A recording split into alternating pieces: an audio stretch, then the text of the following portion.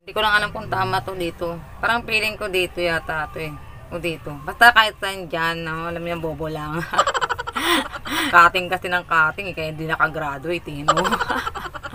Ayan guys. Magandang ano ko ngayon na bagong i-share ko sa inyong vlog dahil ito ay puro binabasang makeup. Foundation ko binabasa.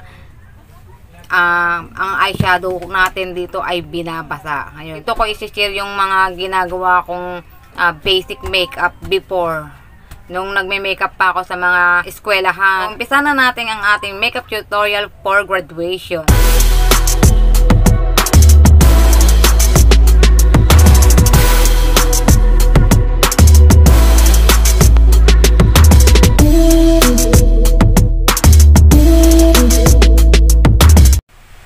Hi everyone, I'm Miyang and welcome back to my YouTube channel. Today is our makeup tutorial for graduation and for graduation photo shoot. So ayan guys, good morning. Have a nice day today. Ayan. So ayan nga guys, oh. Kakagising ko lang nag-vlog agad. Kaya inaaway ako ng asawa ko eh. Nagkakape pa ako. Hindi pa ako naghihilamos. Ayan. So, by the way, ah meron akong new vlog, no? Meron akong bagong isi-share sa inyo, pero bago ang lahat, ah, may papakita ko sa inyo. Grabe, namulubi ako. Meron akong binili yan sa Watson. Ang ng paper bag, pero apat lang yung items.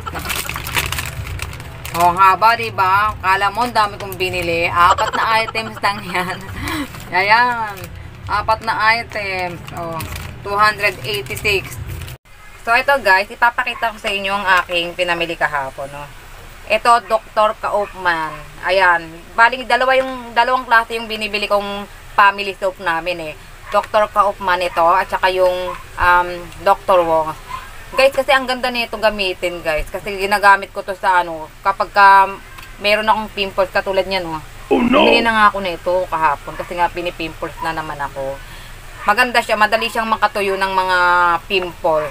Ayan, tapos maganda siyang gamitin kapag makati yung katawan. Kunyari, kin- kinagat ka ng insekto. Basta pag nangangati yung katawan mo, maganda siyang gamitin. Tsaka ang kinaganda nito, dual skin protection.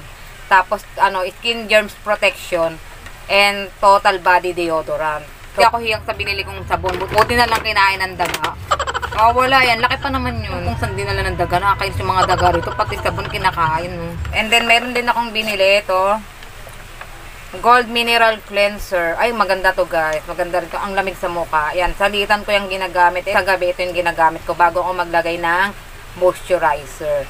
25 pesos ko lang ito nabili sa Watson. Ito guys, mayroon pa akong buy one take one. Ayan, baby oil with vitamin E and moisturizer na siya guys. Safe na safe ang inyong mga babies. Talagang pang toddler siya. Tapos ang bango-bango na ito guys. 199 lang ito guys. Ay, try nyo to sa mga anak nyo. Marami pa ako na ito sa cabinet.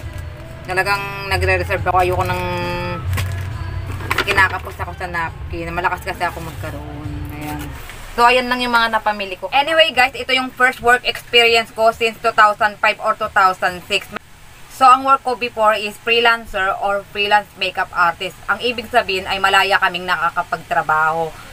So, una akong napasabak sa La Union. Mga grade school ang mga inaayusan namin doon. Hindi ko nga alam kung kung ako ang nag-ayos kay Main Min doon. Walang alam kung kanino siya napunta, kung sa kasama ko ako. Kasi sa dami ba naman ng inaayusan namin, hindi na rin namin nakikilala yung mga ah, estudyante. Kasi ang dami na rin duman sa mga kamay namin eh. Pero alam nyo ba guys, meron akong first celebrity na naayusan, no? Anak ni Jano Gibbs. Doon ko siya naayusan sa St. Paul Holy Spirit ata, yun sa Cubao. At dahil water-based ang ating makeup tutorial today, itatry na rin natin ang Kukuyo Summer Cake Foundation na binili ko last year. So, binili ko lang siya, hindi ko siya nagamit. Bali na curious lang ako dito sa Summer Cake Foundation ng Kukuyo kasi maraming nagsa magandang araw ito gamit. So, itatry na natin ito for review. So, ito siya, guys. Orange blush. Ah, mabango siya, guys. So, ito, so paano ba gamitin ng Kukuyo Summer Cake Foundation? Meron tayong takip, guys. Ito. Ay, nilagyan ko ng water. And then, meron tayong binili na sponge. Pero hindi to maganda yung sponge siya. Hindi ko type dahil rubber siya. Gusto ko yung medyo cotton eh. Isausaw natin itong sponge sa tubig.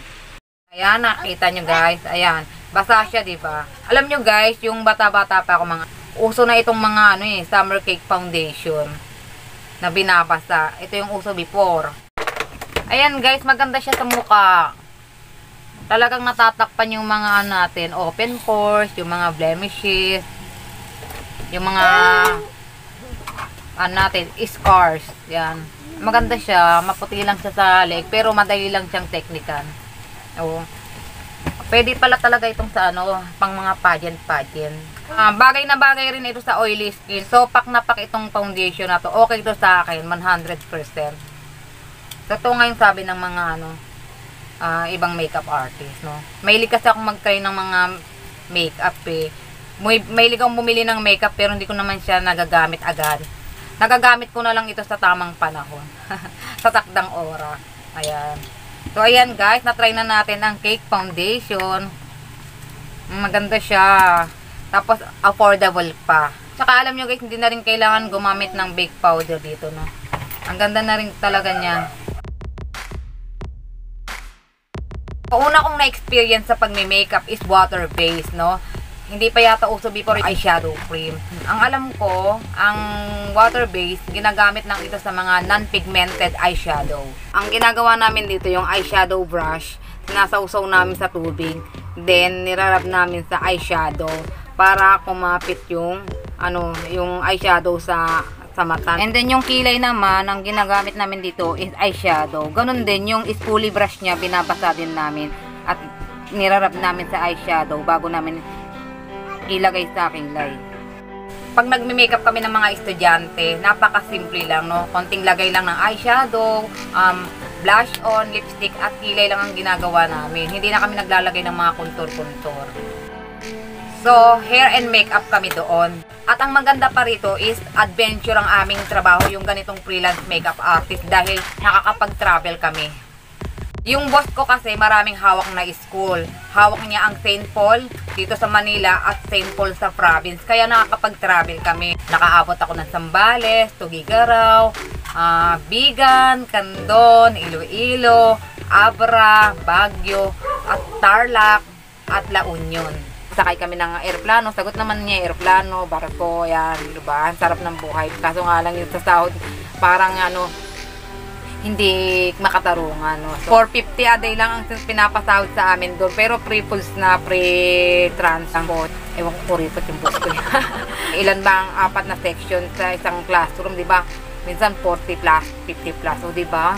Eh kung kung 1.5 per head yun o kahit sabihin na natin 450 per head yun and, hindi ang dami kong ano kikitain di ba? Kaso nga lang baba ng sweldo no? Pero tiniis ko yun kasi hindi naman ako professional eh. Kaya marami din akong napagdaanan bago ako natutong mag makeup pero syempre iba pa rin yung nag-aral ng makeup. Kasi dati kapag ka nagme-makeup kami tinatanong din ako ng mga client namin, mga estudyante namin, para saan po yung ganito, para saan, hindi ko alam yung mga uh, ina-apply ko sa kanila kung paano ko i-explain, no. Tsaka yung mga brushes, hindi ko pa talaga siya kabisado dati. Hindi ko alam kung basta kung ano lang yung makuha kong brushes, yun na yun na yung idudot-dot ko sa mga mukha nila. Yun yun yun ang pinagkaiba ng hindi nakapag-aral ng makeup at yung nag-aral ng makeup. Kasi guys, pag nag-aral ka ng makeup, masasagot mo yung mga tanong ng mga customers mo, mga client mo. Yun nga lang, medyo pricely ang pag-aaral ng makeup. Pero depende na rin. Kasi meron, meron naman nag, may mga promo naman yung mga nag ano eh nag-tutorial ng makeup eh. Kung meron kayong pang-enroll, mag-enroll na kayo. Kasi magandang business ito katulad nito, pandemic, 'di ba? Ang wala na maraming nawalan ng trabaho, maraming nagsara na company. Magagamit mo ito, makakapag kahit pa paano makakapag uh, makakapagtrabaho ka pa rin ng kahit pa isa-isa lang, 'di ba? Yan yung pinakamagandang trabaho na may apply mo sa sarili mo. Mawala man lahat, na andyan pa rin kasi ang mga wedding event, graduation makeup, mga debut, hindi talaga yan nawawala bawat buwan, bawat taon. Kaya mas kaya importante din talagang uh, marunong ka din mag-makeup kasi mapapakinabangan mo yung talent mo. Pagtrabaho ako sa Intuit, uh, sa LA Girl, tapos sa casino, nagamit kong itong experience na ito, yung pagme-makeup ko sa mga in-applyan kong trabaho. Tapos doon ko natutunan yung pag-hair. Yan.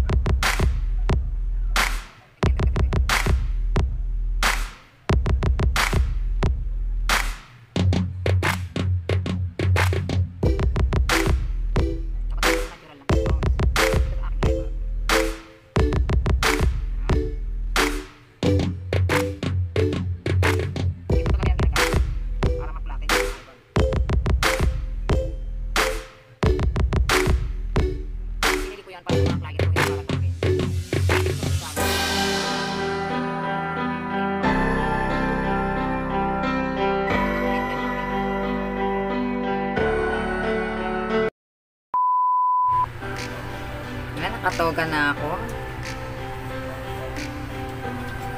And guys, ito na ang aking graduation makeup. Kinulot ko pa yan, guys. Kinaya ko yung buhok ni Wonder Woman. Ayan. Then, then, then, then. Then, then, then, then. Tignan nyo ang aking makeup, guys. Graduation. This is my graduation makeup. Diba? Very light lang siya. Pang graduation lang talaga siya. Yan, dito na magtatapos ang aking makeup tutorial. Sana nagustuhan nyo ang aking makeup graduation tutorial. Ito, magagamit nyo yung mga ganitong aurahan. na light makeup lang siya, guys. Ayan. Hindi nyo kailangan ng bogang makeup kasi papawisan lang din kayo sa loob ng gym. sa mga gusto magpabook sa akin for graduation makeup, comment down below. Lapit ng graduation kaya magpabook na kayo, okay? Hanggang dito na lang, guys. Bye!